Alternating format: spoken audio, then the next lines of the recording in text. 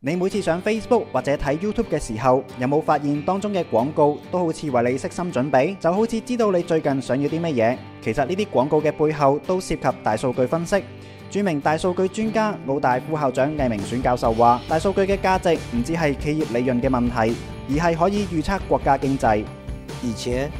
做经济分析是各省地方说海关报今年进口多少、出口多少。呃，数据送到北京经济研究院說，哦，我们国家经济走上走下。从收集数据到我做预估出来是两三个月以后了，早就不需要这样做了。所以阿里巴巴，我那個好多人去参观，我我最震撼是很大的电视墙，每个圈是代表的公司，大小是看营业量的变化。所以说，呃，微软这么大，这个 IBM 多大，一直在看数据的变化。所以当时在零零八年啊，经济不是垮了吗？那阵子。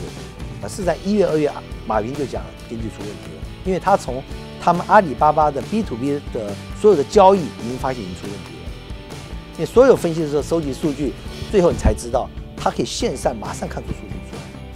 然後一分析经济要出问题了。喺国际计算机智慧系统领域有重要地位。澳大电脑及资讯科系讲座教授唐婉賢話：澳大以至一啲民間機構都有能力做數據分析。只要政府為研究帶嚟方向同埋政策便利，將可為社會帶嚟貢獻。政府是不是開始？現在是不是應該開始建立這樣一個至少一個籌一個籌備人小組吧？這個小組包括我們 澳門大學的嗯做